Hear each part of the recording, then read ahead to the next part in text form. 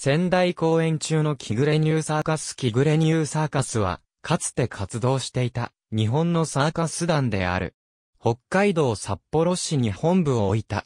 運営会社は、北海道札幌市中央区伏見三丁目16に所在した株式会社キグレサーカス。1942年、水野勲によって設立された日本屈指のサーカスであった。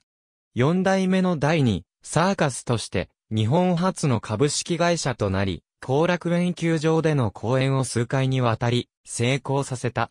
モナコで行われたサーカスオリンピックの日本代表で初参戦し見事に金メダルを獲得するなどの偉業を成し遂げた。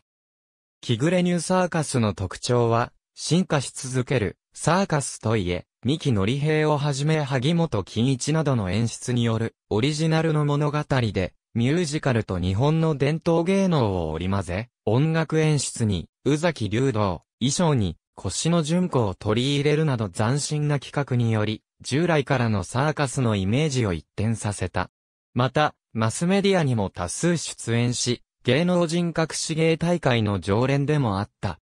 1978年に発刊された、草加博士著作のノンフィクション、トベイカロスの翼は、同団で、ピエロとして活躍し、子供たちの人気者となりながら、演技中に、不慮の事故で溶接した、青年、栗原徹の青春を描いた作品である。同作品は後に、佐田正史主演で映画化され、佐田が歌う主題歌、道化師のソネットは大ヒットした。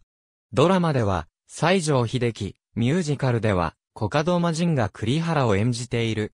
その他、TBS ドラマ、サーカス村裏通り、フィクションではあるが、足立由美の家なき子でも、キグレサーカスがそのまま舞台となっている。1984年公開の映画、男は辛いをよぎりにむせぶ虎次郎では、オートバイショーの場面が登場した。ナインティナインの岡村隆史が番組の企画で参加したり、遠藤久美子が空中ブランコに挑戦したりしたことでも知られた。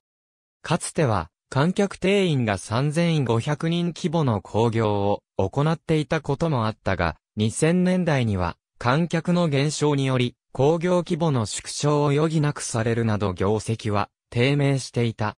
さらに、2009年10月に埼玉県川越市で行われた工業が当時流行していた新型インフルエンザの影響を大きく受ける形となって大幅赤字を出すなど資金繰りが悪化。